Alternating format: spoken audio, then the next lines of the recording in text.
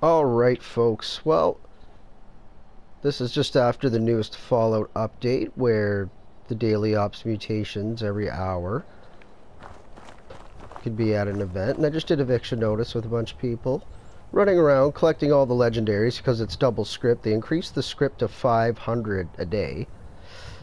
And it's double weekend, so now you could put in a thousand script a day instead of the normal 300. So and I was over here.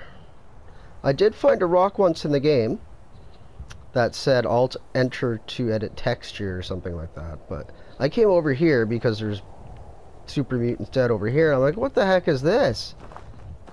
It says chain everywhere. Unless there's it's something in their engine where they do something to chain stuff together. I don't know. But it says chain all over the place in this section. Isn't that strange? It's like game engine, I think. I don't know. All over again. Chain? It's clearly an eye with a dot. I can walk right through it. Yeah, it was coming up, I think, over here. You know, when you kill all the guys coming down here and whatnot. Now there's tons of radiation over there. And I was like, whoa, what's this? And I seen chain everywhere, so...